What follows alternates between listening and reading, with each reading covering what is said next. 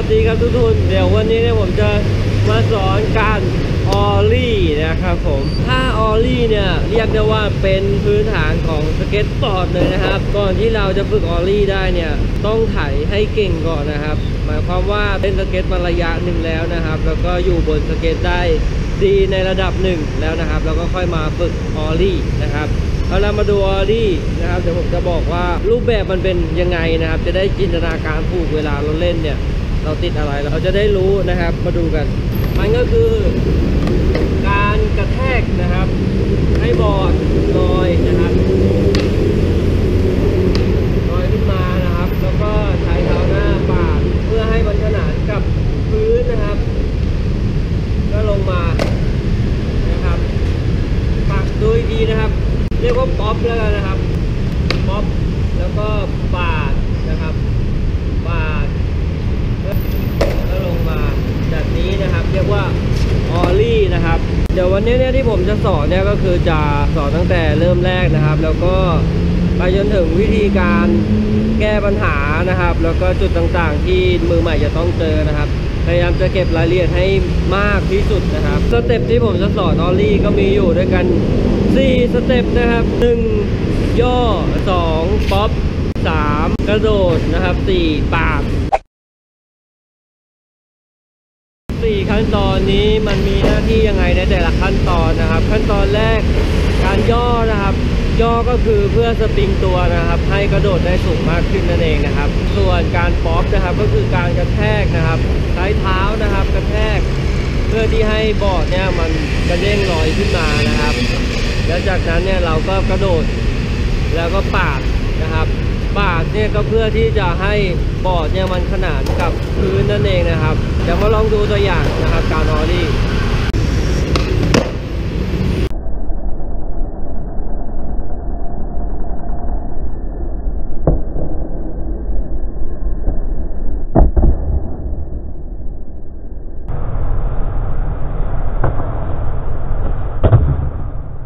เอาละครับก็นั่นแหละครับคือ ollie นะครับตัว อาจจะยังไม่ค่อยสวยเท่าไหร่นะครับ เพราะว่าผมก็ยังไม่คล่องถึงขนาดนั้นนะครับ มาดูนะครับวิธีฝึกนะครับ ว่าทำยังไงนะครับผมตอนแรกๆเลย มือใหม่เนี่ยอาจจะยังเหยียบสเก็ตยังไม่ค่อยคล่องก็ได้นะครับ เพราะฉะนั้นเนี่ยเวลาเราทำ ollie มันก็จะยากนิดนึงนะครับถ้ามือใหม่เลยนะครับ เดี๋ยวฝึกตามนี้เลยนะครับ step แรก ย่อแล้วก็ยก ย่อยกนะครับ ย่อยก มาลองทีละขั้นตอนแล้วกันนะครับที่การเหยียบนะครับตอนนอลลี่นะครับ การวางเท้านะครับการวางเท้าก็ประมาณนี้นะครับเอ่อใช้ประมาณนี้นะครับ วางเท้านะครับอยู่แถวๆนี้นะครับ หรือว่าแถวๆนี้ก็ได้นะครับ ตามความถนัดเลยนะครับ ประมาณนี้นะครับวางเท้า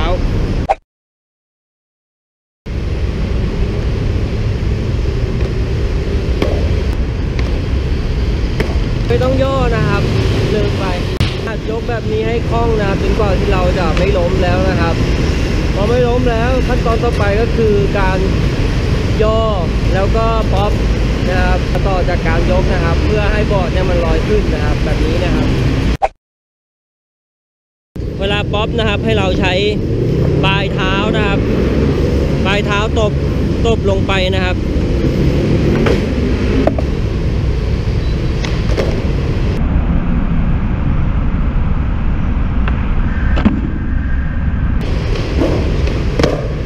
โอเค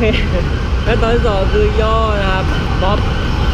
แล้วก็กระโดดให้เพื่อนมันเริ่มจะลอยขึ้นมาแล้วนะครับขั้นตอนต่อไปก็คือปาดนั่นเองนะครับ เมื่อเรา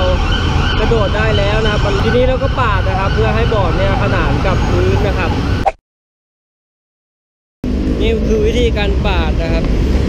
ปาดคือการพลิกเท้านะครับจะลูดขึ้นไปอย่างนี้นะครับ การปาด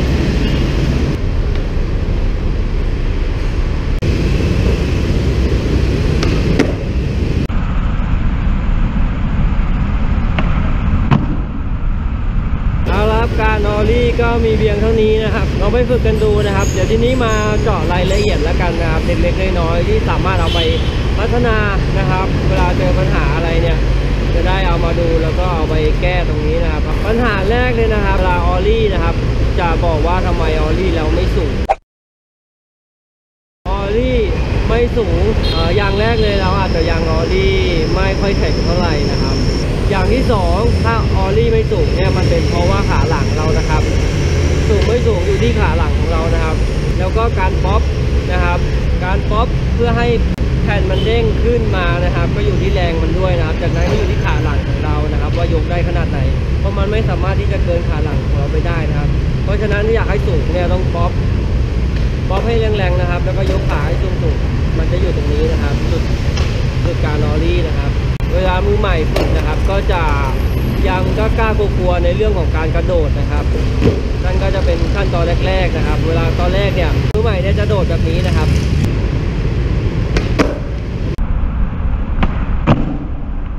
เพราะว่าเรายังไม่กล้าที่ก็จะกระโดดให้มันสูงขึ้นนะครับ เพราะเรายังไม่อาจจะไม่ชินกระบอดนะครับ เพราะฉะนั้นต้องฝึกไปเรื่อยๆนะครับ ก็อย่างที่บอกถ้าอยากให้สูงเนี่ยก็ป๊อป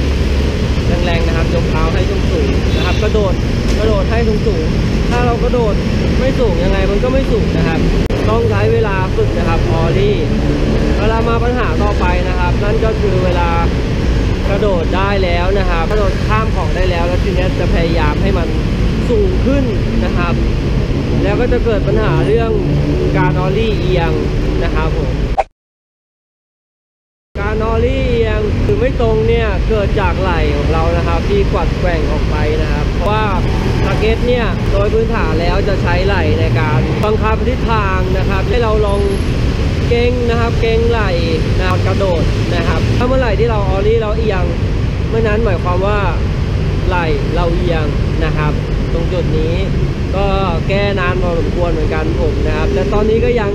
ไม่คล่องนะครับ ก็ยังเอียงอยู่นิดนึงแต่ก็ออลี่ได้อยู่นะครับแต่ก็พยายามค่อยๆฝึกไปนะครับ ก็อีกข้อหนึ่งนะครับแล้วออลี่ทำไมหัวมันตกออลี่ทำไมหัวมันตกนั่นหมายความว่าลองกลับไปดูพื้นฐานนะครับเออย่อป๊อปกระโดดปาดจำได้ไหมครับว่าเรื่องของการปาดการปาดนั่นคือการทำให้ บอร์ดนั้นขนานกับพื้นนะครับเพราะฉะนั้นคนที่หัวทิ่มเนี่ยหมายความว่าอาจจะไม่ได้ปาดก็ให้บอร์ดมันตรงตัวอยู่แบบนี้นะครับ ลองไปเพิ่มปาดดู หรือไม่ก็ยังปาดช้าเกินไปนะครับจนมันจะมีจุดนึงนะครับ เรื่องของระหว่างที่ป๊อปกระโดดปาดนะระหว่างกระโดดกับปาดเนี่ยจะอยู่แบบใกล้เคียงกันมากนะครับเวลาป๊อปปุ๊บรีบกระโดดใช่ไหมครับ ณขณะนั้นน่ะเราก็ปาดไปพร้อมกับกระโดดเลยนะครับ มันมันไม่เหมือนแบบว่าย่อป๊อปกระโดดแล้วก็ปาดอย่างนี้นะครับ มันจะแบบย่อปุ๊บกระโดดแล้วก็พร้อมปาด มันจะเป็นเสี้ยววินาทีเลยนะครับ เพราะฉะนั้นเวลาพยายามถ้ามันไม่ลอยเนี่ย มันอยู่ที่เราอาจจะปาดช้าแล้วเวลาฝึกใหม่ๆนะครับ เราฝึกอยู่กับที่ได้แล้วใช่ไหมครับสักนิดหน่อยนะครับ แล้วทีเนี้ยเราไปฝึกกับกลวยนะครับ หรือสิ่งของต่างๆ ที่มันมีลักษณะนูนขึ้นมานะครับ มันจะแตกต่างกับเรามันจะแตกต่างกับการที่เราฝึกอยู่กับที่อย่างมากนะครับ เหมือนเราต้องไปฝึกใหม่อีกทีนะครับ เพราะฉะนั้นเวลาฝึกใหม่ในการการกระโดดขึ้นของเนี่ยเราก็จะยังยังไม่ได้นะครับ ต้องไปเรื่อยๆนะครับ ฝึกไปเรื่อยๆ จนกว่าจะป๊อปคล่องรู้จังหวะอะไรนะครับ ต้องเรียนรู้ด้วยประสบการณ์เท่านั้นนะครับ แล้วส่วน อีกเรื่องที่สำคัญมากนะครับ ความกลัวนะครับ การนอรี่ครั้งแรกเนี่ย ความกลัวเป็นเรื่องสำคัญมาก ทุกคนจะออลี่ไม่ข้าม เพราะว่าเรากลัวนะครับที่จะออลี่ข้ามไปนะครับ เราไม่รู้ว่าการออลี่ข้ามเนี่ยมันเป็นยังไง เราก็เลยกลัวนะครับเป็นปกตินะเพราะฉะนั้นทำยังไงทำยังไงก็คือเราต้องออลี่ให้ข้ามสักตาหนึ่งนะครับ เพื่อรู้ว่าการข้ามเนี่ยรู้สึกมันเป็นยังไงนะครับ เราถึงจะหายกลัวได้ แล้ววิธีการฝึกนะครับสำหรับคนที่แบบกลัวยังไงก็ฝึกไม่ได้กระโดดไม่ได้ทันทีนะครับ เวลาฝึกเนี่ยเราให้เริ่มจากเส้นเส้นก่อนนะครับ เริ่มจากเล็กๆนะเริ่มจากเตี้ยๆนะครับ ไล่ขึ้นไปเรื่อย ๆ จนความสามารถของเรา อย่างเช่นอย่างเงี้ยเราก็ใช้เส้นแบบนี้นะครับ เส้นแบบนี้นะครับ กระโดดข้ามเส้นไปก่อนนะครับให้ได้ก่อน หรือไม่ก็สนามบาสอย่างนั้นนะครับ จะเห็นว่ามีเส้นอยู่ เราก็ฝึกกระโดดข้ามเส้นก่อนนะครับ จากนั้นเนี่ยเราก็ค่อยยกระดับขึ้นนะครับ อาจจะฝึกข้ามไม้กวาดนะครับ หรือไม้เรียวไม่เรียวรู้จักไหมให้มันขึ้นมาตรงนู้นนิดสักนิดนึงนะครับ แล้วก็กระโดดขึ้นไป แล้วค่อยเพิ่มมาเรื่อยๆ เป็นกลวย เป็นอะไรนะครับเพิ่มระดับขึ้นไปนะครับเพราะว่าการเพิ่มระดับเนี่ยมันก็จะเพิ่มความกลัวเหมือนกันนะครับ ซึ่งถ้าจะเพิ่มเหล็กเราก็เพิ่มความกลัวเหมือนกันอย่างเนี้ยปกติสมมติเราเราโดดได้อยู่แล้วใช่ไหมกลัวสูงขนาดเนี้ยแต่ถ้ามาโดดเหล็กเนี่ยความแตกต่างจะมีอยู่มากนะครับเพราะว่าเรากลัวนะครับเอาลับการสอนออลลี่ของผมก็มีเพียงเท่านี้นะครับ น่าจะละเอียดที่สุดนะครับตามประสบการณ์ของผม ผมอาจจะยัง Ollie ไม่เก่งหรือยังไม่คล่องนะครับ แต่ผมสามารถถ่ายทอดประสบการณ์ที่ผมผ่านมาได้ ผมก็ฝึกด้วยตัวเองนะครับ ทุกคนก็สามารถไปฝึกด้วยตัวเองได้นะครับ ถ้ามีปัญหาอะไรนะครับ ในเรื่องการ Ollie อะคอมเมนต์ไว้ด้านล่างนะครับเดี๋ยวจะทำวิดีโอมาเพิ่ม เพิ่มเติมให้นะครับ กับการแก้ไขการ Ollie ต่างๆนะครับ เพราะว่าที่ผม